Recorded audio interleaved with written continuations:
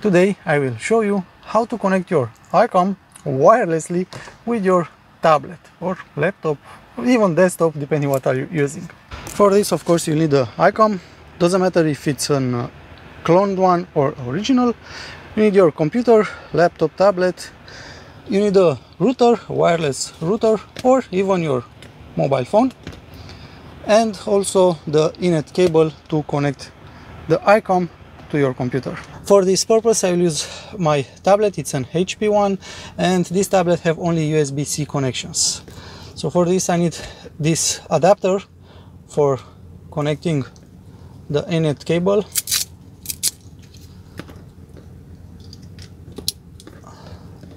to my tablet like so.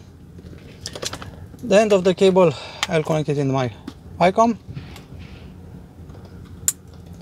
and now I can connect the ICOM to the vehicle. It's not necessary, it's not mandatory to have a vehicle to do this setup, but you need to apply a power supply voltage to the ICOM. So if you have a bench test, you can use that.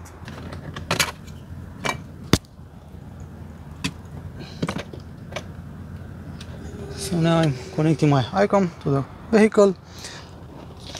I don't need to switch on the ignition. You can see I have power supply now with my ICOM connected, I will open my tablet and I need to find out what IP address have my ICOM. To do that I use iTool Radar. And you can see here my IP address is 169.254.177.81. Next step is to open an internet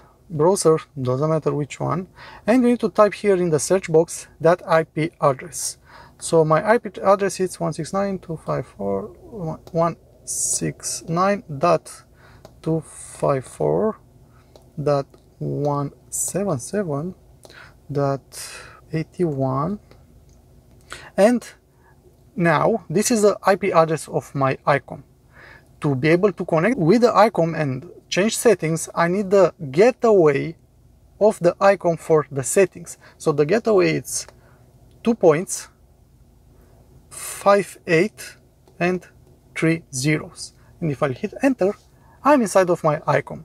You can see here the model, device name, device color, serial number, firmware, and so on. My device color is red. You can change the device color from here. You can choose any other color you want. When you buy your ICOM from factory brand new, in the box you'll have stickers with all the colors. I have choose red. Why you need this? For example, in a shop where there are more than one ICOM heads used, you need to know which head is yours and which one is not yours to be able to connect to your car. I will show you in a second when I will connect with this car with ISTA. Your settings for the wireless connection is here, WLAN settings. This is very important. The country uh, is not important. Mine is Germany, but the model is very important. The model, sorry, the mode. It's very important. You need to have 802.11n 2.4 gigahertz. The SSID name is the wireless network name. So this is the wireless network name that this head will need to find to be able to connect.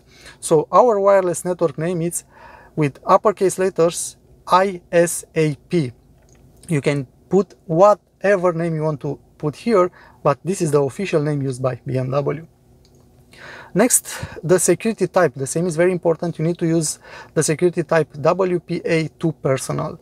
The encryption type, the same, it's uh, ASC. And pre-shared key. This is the wireless network password.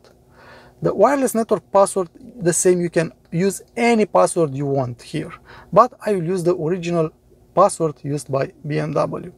So the original password it's with uppercase uh, B lowercases M W BMW uppercase A lowercase p oh lowercase p I said lowercase p 24 lowercase h.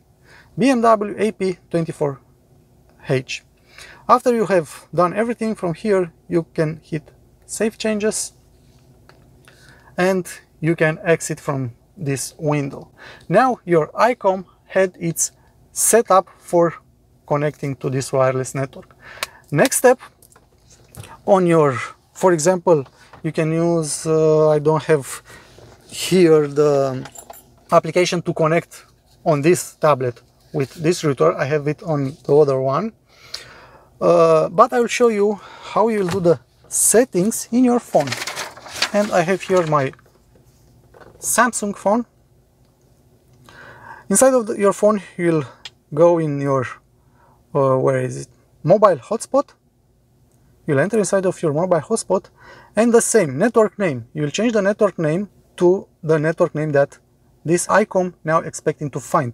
So the network name it's with upper cases I S A P and the password the same B M W A P uh, 24 and lowercase h.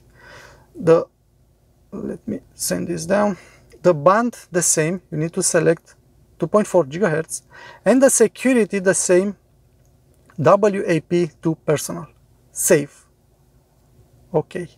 Next step on your tablet, desktop computer, laptop, doesn't matter. You'll go here in the wireless connections. You'll select the ISAP network. Come on. The ISAP network and you will connect with the network. You will use the password BMW AP24H with upper and lower cases. Now I can disconnect my ICOM I can disconnect from here. I need to unplug the ICOM from the power supply for a couple of seconds. Plug it back. Uh, now I need to see here the WLAN will need to flash when I will have a connection. And now it's solid and it's flashing. Next step, I will open BMW ISTA and the same, before I do that, I can find in my iTool radar the head. Now it's not showing it. Let's see if in BMW ISTA will appear. Let me see if the tablet is still connected to this network. Connect. The tablet was not connected because the tablet was connected with the head. That's why it was not connected with the ISAP network. Now it's connected. And if I will search the head, you can see my head it's the red color and it's connected with the ICOM wirelessly using this phone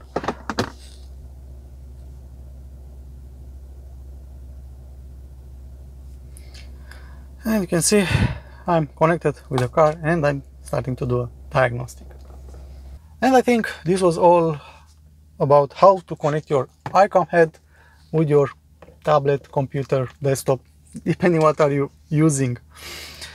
Uh, if you learned something new, if you like this video, please show me by hitting the like button.